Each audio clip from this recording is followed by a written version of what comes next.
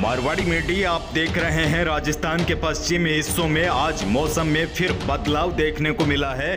उत्तर भारत में एक्टिव हुए पश्चिमी विक्षोभ के असर से राजस्थान के पश्चिमी हिस्सों में आज हल्के बादल छाए रहे। बीकानेर, बाड़मेर, जैसलमेर, जोधपुर, बीकानेर, नागौर समेत कई स्थानों पर सुबह से ही हल्के बादल छाए हुए हैं। वैसे आपको बता दूँ, आज तो यह पश्चिमी विक्षोभ ज़्यादा असर नहीं दिखा पाएगा, लेकिन अगले 24 घंटों के दौरान राजस्थान के कई क्षेत्रों में मौसम में बड़ा बदलाव देखने को मिल सकता है।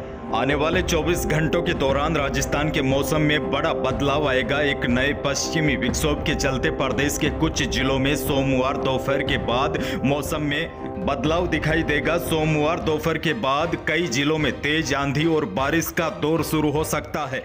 मौसम केंद्र जयपुर के अनुसार पूर्वी राजस्थान के उदयपुर, अजमेर, कोटा व जयपुर संभाग में 13 और 14 मार्च को दोपहर के बाद मेघ गर्जन के साथ कहीं कहीं पर हल्की बारिश व अचानक तेज हवाएँ दर्ज होने की संभावना है। और पश्चिमी राजस्थान के जोधपुर संभाग व गंगानगर, हनुमानगढ़ जिलों में 13 मार्च को दोपहर बाद मध्यम दर्जे के थंडर स्ट्रोम, यानी कि अचानक बादल, बारिश, ओलावृष्टि और बिजली चमकने जैसी गतिविधियाँ देखने को मिल सकती है।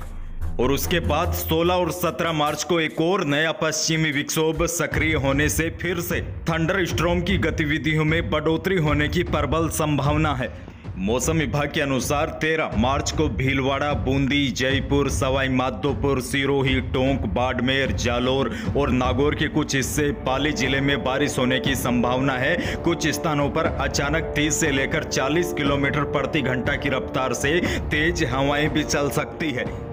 वहीं देखिए, रविवार को राज्य के अधिकांश भागों में तापमान में दो से लेकर छह डिग्री सेल्सियस तक की बढ़ोतरी दर्ज की गई है। पिछले 24 घंटों में सबसे अधिक तापमान बाड़मेर में सैंतीस डिग्री व फलोदी में सैंतीस डिग्री दर्ज किया गया। रबी की फ़सलें इस समय पकाव ले रही है और तापमान में आ रहे उतार चढ़ाव का असर फ़सलों पर पड़ने के कारण किसानों की चिंता बढ़ती जा रही है और लगातार एक के बाद एक आ रहे पश्चिमी विक्षोभ भी किसानों की चिंताएँ लगातार बढ़ा रहे हैं। लेकिन किसानों के लिए फ़िलहाल बड़ी अपडेट ये है, आगामी दिनों में राज्य में दो बैक टू बैक पश्चिमी विक्षोभ सक्रिय होंगे। पहला तेरह और चौदह मार्च को यह तेरह और चौदह मार्च वाला विक्षोभ थोड़ा कमज़ोर होगा, लेकिन दूसरा जो सोलह और सत्रह मार्च को एक और विक्षोभ सक्रिय होगा, वह थोड़ा सा मज़बूत होगा।